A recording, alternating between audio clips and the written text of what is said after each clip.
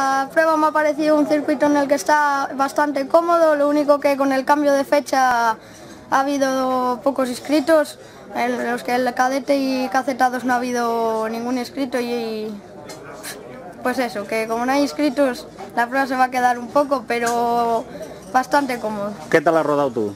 Yo, bueno, he rodado bien, más o menos ahora estamos empezando a coger tiempos y ya estamos empezando a, a conseguir algo. Pero estás ahí con tu abuelo y tu abuela que están ahí empujándote. Claro, son los que me apoyan. Esos son los mejores, ¿no? Sí.